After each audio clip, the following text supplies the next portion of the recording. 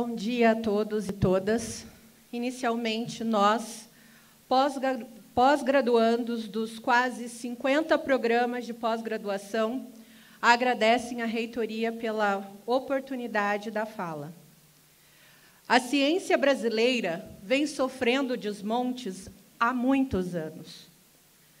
Contudo, o recente corte de 2,13 bilhões de reais, promovidos pelo Decreto 9.741, ameaça inviabilizar a continuidade de pesquisas extremamente importantes.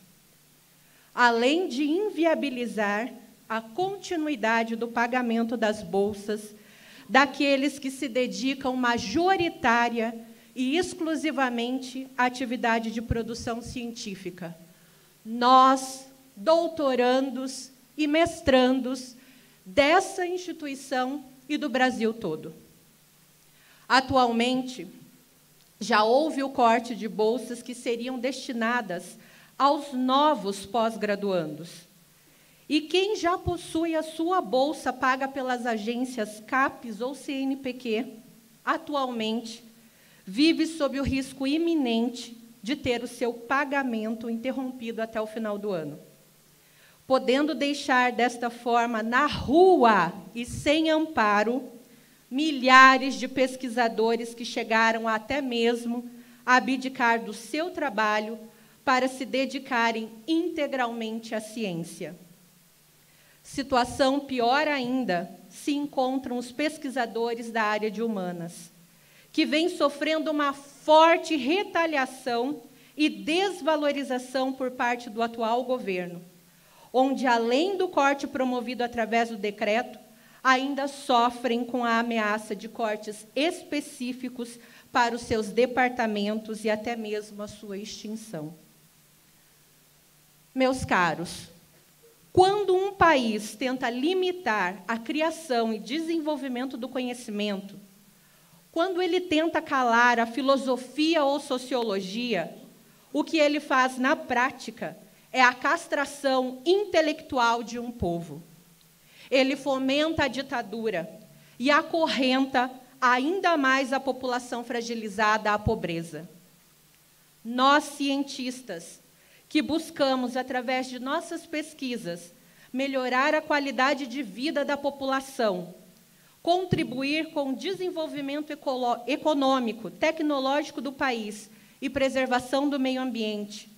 Fomos recentemente atacados pelo atual presidente por lutar contra os absurdos cortes na educação e ciência e chamados de idiotas úteis e de massa de manobra. As universidades brasileiras, e nela incluímos a nossa amada UFPR, ocupa lugar de destaque internacional graças às suas pesquisas. E são estas pesquisas que fomentam o avanço tecnológico e o crescimento do país. Senhor presidente, diante disto, permita-nos dizer o que estes idiotas úteis têm feito pelo país, pela vida de cada cidadão, inclusive a sua e de sua família. Somos os responsáveis por 95% da ciência produzida pelo país, compondo deste modo a expressiva massa de cientistas brasileiros.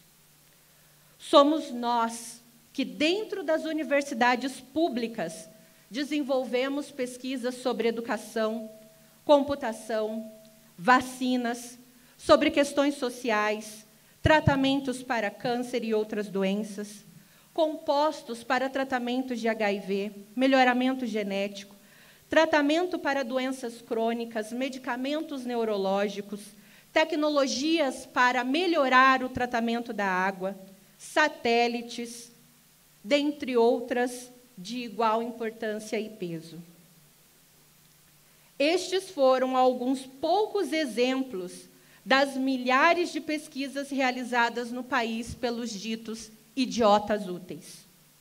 Convido a vir até uma universidade pública para que debata não sobre sete vezes oito ou sobre a fórmula da água, mas para que veja o quanto nossas pesquisas contribuem para o desenvolvimento deste país.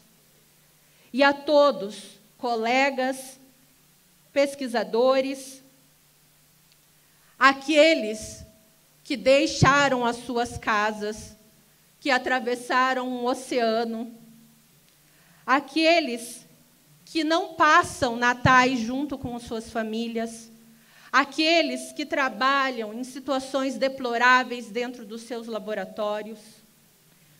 Convido a todos que não desistam, que permaneçamos firmes e determinados a lutar e defender as universidades públicas e a ciência brasileira. A comunidade externa, que também terá a sua vida afetada com a morte da ciência, pedimos que se some a nós nessa luta. Somos a resistência. Obrigada a todos.